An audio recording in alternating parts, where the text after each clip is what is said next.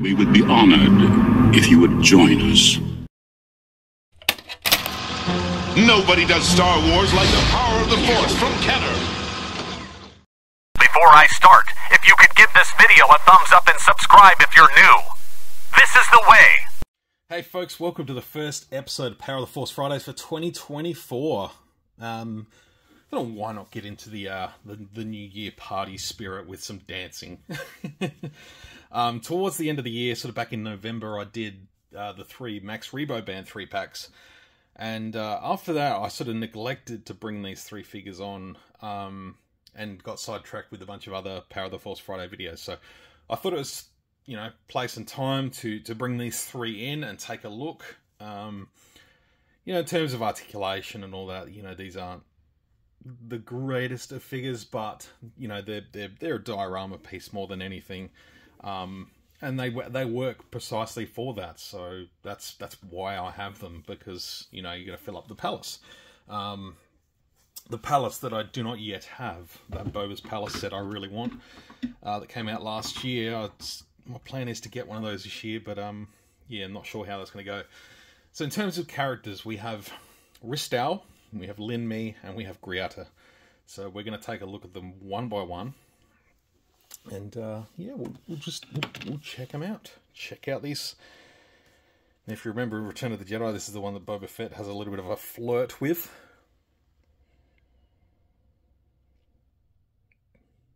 You know, it's it's. I like the the idea that Jabba has these sort of exotic, exotic dancers. You know, entertaining him he is, you know, essentially a, a mafia bob mob boss. So yeah, she's, you know, in terms of the bodysuit, not leaving much to the imagination. She does have like some weird hoofed feet. Now, can't remember the the name of her species. Um, uh, completely blanking there. But you know, the paint detail is really good. Close up look of her there.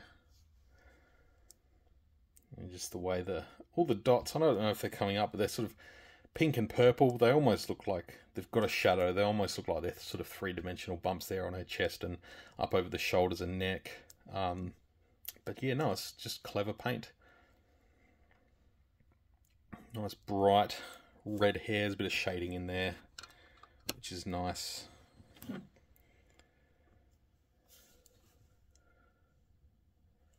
Again, articulation sort of only got the sort of one hand out front, you know, the swivel there, swivel on the head, and then yeah, swivel on the on the legs and the waist to kind of get them in a bit of a bit of a pose there. Alright, now we get Lyn Me, the Twi'lek. Very cool looking outfit.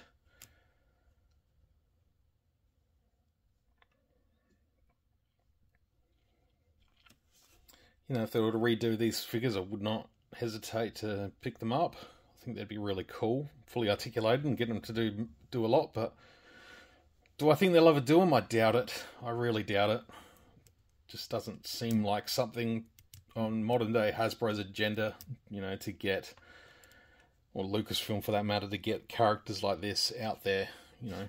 They, like I said, they are, you know, predominantly display display figures. They are, you know, statues for display in the in the shelf. So I noticed she's got sort of she's got some like shoes on. They're not painted. Maybe they're white shoes.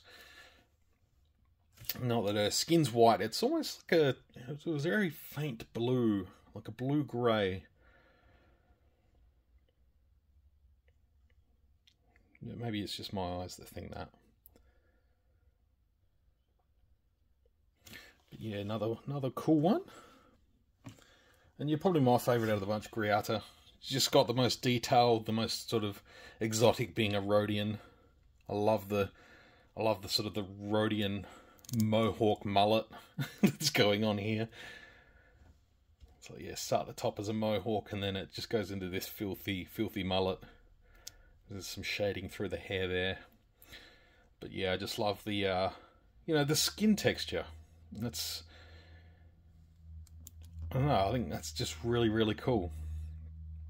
You know, he's got the sort of the bronze, the bronze sort of shackle jewelry on around the waist, the orange.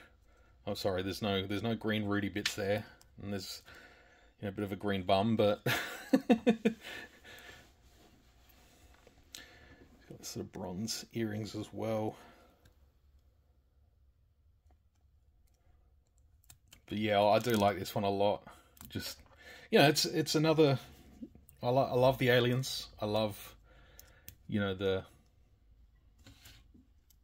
I don't know. It's it's the diversity of the shelf. You know, you know, put a exotic Rodian lady dancer on the shelf with a Twi'lek, and I can't remember her species, but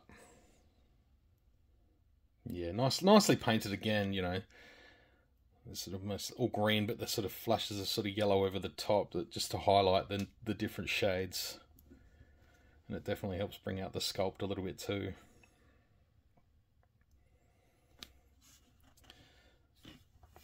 So yeah, pretty nice, easy one to bring in the new year, bring in 2024.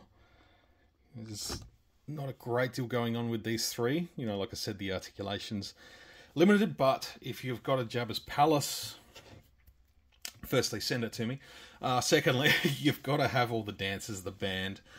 It's one thing to have the palace, and it's another thing to have all the uh, all the attendees, which is really great. I love it. So that being said, I'd love to hear your thoughts. Let me know. Always looking to add requests to my list. And if you are a member, your request gets bumped straight to the top of the queue. And if you're another member that puts in a request, you come into the next next available space. So